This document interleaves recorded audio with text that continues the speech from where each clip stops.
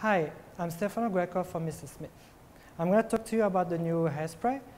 The new hairspray, it's amazing because it's strong but very easy to brush it out. It's not sticky, it's not flaky, very good.